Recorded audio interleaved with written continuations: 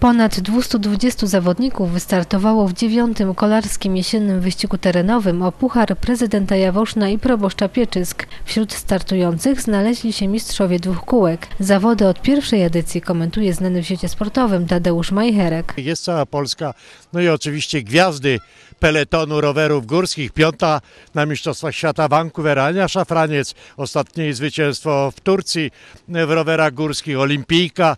No, mamy w tej chwili trzy dobre zawodniczki. Oczywiście nie ma tutaj tej, która zdobyła złoty medal do lat 23 Vancouver, mówiąc tutaj o Oli Dawidowi, Aleksandrze Dawidowicz. No ale jest Ania, bo mamy tutaj równolegle e, Mistrzostwa Śląska, jeżeli chodzi o studentów AZS-u z AWF-u katowickiego. Turniej organizowany jest dla uczczenia Święta Niepodległości i popularyzacji kolarstwa jako sposobu na zdrowe życie. Dla prawdziwych sportowców deszcz, który padał przez cały czas trwania zawodów, nie był żadną przeszkodą. Jednym z najstarszych zawodników był prawie 72-letni Bolesław z Rudy Śląskiej. No, mimo, że zła pogoda, ale, ale nie wystrasza pogoda.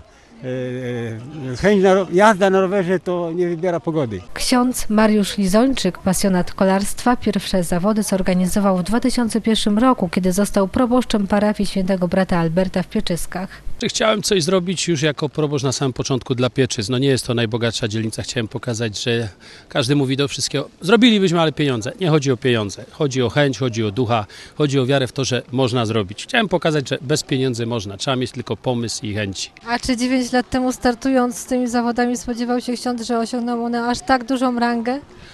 E, No nie, przyznam się, że nie. Chciałem, żeby to było prawdziwe święto niepodległości, a że zrobiło się to takie święto waleczne, święto wolności, święto wielkiego sportu, no to tylko świadczy o tym, że dobrze to robimy. To trochę nieskromny, no ale wybaczcie, tak jest. Proszę powiedzieć, kto wspomaga księdza w organizacji? No w organizacji, ojej, lista jest długa. Ja powiem tak, e, bo tak najlepiej, bo mógłbym wiele ludzi pominąć. Dużo ludzi z Jaworzna, z parafii, wiele sponsorów z całej e, Polski. Ktoś mnie nauczył, że nie trzeba dziękować ludziom, tylko Panu Bogu za tych wspaniałych ludzi. I ja po prostu przy Was dziękuję Panu Bogu za tych wspaniałych ludzi, którzy mnie e, wspomagają. A czy ksiądz sam będzie startował? E, To jest właśnie niespodzianka przyszłoroczna. Mam taką ochotę na tą dziesiątą rocznicę tego, tej imprezy, przygotować się i wystartować na jubileusz. Będę miał 50 lat, dziesiąty wyścig, dobry czas, żeby, żeby pojechać. Wyścigi organizowane w Pieczyskach ściągają rowerzystów z całej Polski, od dzieci w wieku przedszkolnym do osób z kategorii Masters 55+.